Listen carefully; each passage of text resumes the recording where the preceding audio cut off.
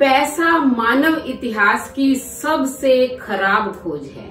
लेकिन मनुष्य के चरित्र को परखने के लिए सबसे विश्वसनीय सामग्री है। राधे राधे शर्मा जी की कहानी चैनल पर आप सबका हार्दिक हार्दिक स्वागत, अभिनंदन। बेटा, आज के जमाने में चाहे आप कितनी भी किसकी भलाई कर लो, लेकिन अंत में मिलती बुराई ही है। मैं आपको एक कहानी के माध्यम से बताती हूँ। एक बार एक व्यक्ति जा रहा था। उसने झाड़ियों में छिपे हुए एक सांप को देखा। सांप ने प्रार्थना की कि तुम मुझे झाड़ियों से बाहर निकाल दो। आदमी को दया आ गई और उसने सांप को झाड़ियों से बाहर निकाल दिया। अब सांप का तो स्वभाव जैसा है, आप जानते ही हैं। जैसे उसे बाहर निकाला, वो उस आदमी को कहने लगा कि मैं तो तुम्हें डसूँगा। अब उस आदमी ने कहा सांप से कि मैंने तो तुम्हें बाहर निकाला है, तुम्हारे साथ भला व्यवहार किया और तुम मुझे ही डसोगे। ये तो गलत बात है। सांप ने कहा कि हमेशा से ही भलाई के बदले बुराई ही मिलती है, इसलिए मैं तुम्हें डसूँगा। आदमी ने कहा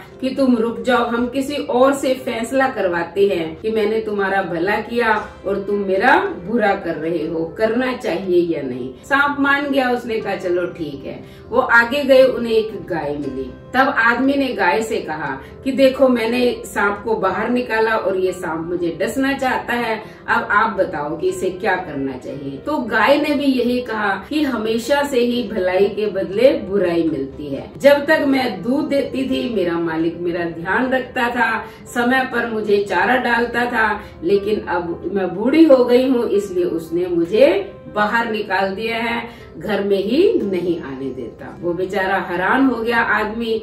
अब सांप ने कहा कि ठीक है, अब तुमने उत्तर सुन लिया, अब मैं तुम्हें डसूँगा।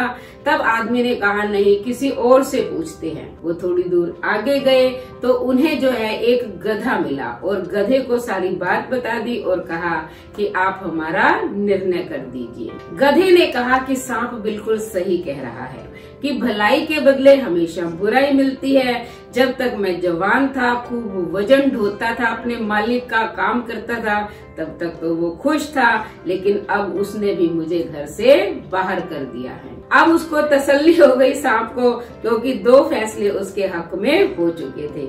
अब उसने फिर कहा कि मैं तुम्हें डसूँगा। आदमी ने कहा कि चलो तुम मुझे डस तो लेना, लेकिन एक निर्णय और सही। उसने कहा, चलो ठीक है। वो आगे चले। उन्हें एक बंदर मिला। बंदर को भी आदमी ने अपनी सारी बात बता दी। बंदर ने कहा कि मैं निर्णय तो कर दूँगा, लेकिन पहले मुझे वहाँ लेके चलो कि जहाँ झाड़ी में से तुमने सांप को निकाला था और इसको उस झाड़ी में डालो, फिर बाहर निकालना, तब बताऊँगा। अब वो तीनों जो है वहीं पहुँच गए, जहाँ उस आदमी ने सांप को झाड़ी से निकाला था।